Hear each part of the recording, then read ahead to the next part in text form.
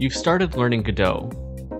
You've taken tutorials and have made smaller projects, but you're ready to take it to the next level and create a full game with professional level code, structure, and design.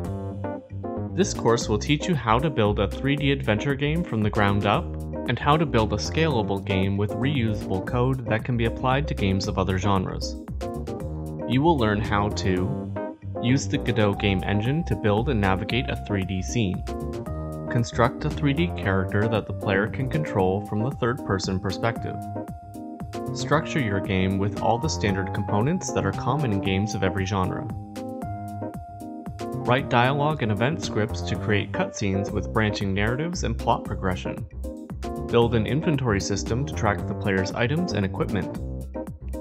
Engage in real-time combat with enemies. If you need any help, our Discord server is full of other students and game developers who can answer any questions you may have. Click the website link in my profile to join. I will start with a blank project in Godot version 4.3 using free assets from itch.io, but you can follow along with your own project using different assets. The projects are available on my GitHub with separate branches after completing each lesson if you need them.